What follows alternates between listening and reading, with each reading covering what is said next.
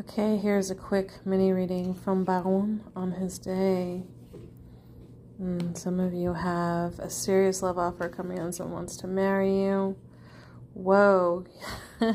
some of you might have two different love interests coming in, but this could also represent you becoming a king of yourself. Okay, yeah, there's like this feeling of being trapped and restricted and not knowing what to do.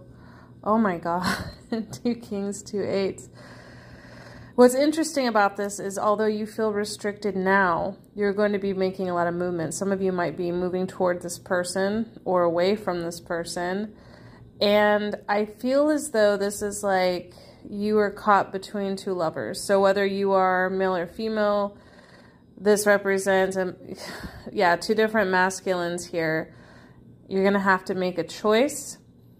So I feel like this reading is going to be for a very specific few people. It's not going to apply to everyone, but for those of you that are stuck kind of in a love triangle or you have suitors, you know, even if you're a man who is looking for a woman, for example, or there's two women, it's okay. Like the kings you know, generally they represent masculine, but they can also represent feminine energy. These are all messages in the tarot, so it doesn't have to be that set in stone. But the two eights and the two kings is really interesting.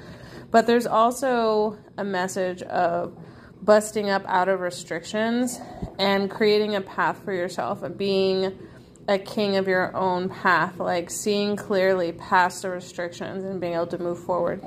So I hope this resonates. Take what resonates, leave the rest. And yeah, that's all. That's all Baron has got to say. So thank you, Baron. And this uh, reading is uh, dedicated to him. All right. Have a wonderful Saturday night. Take care.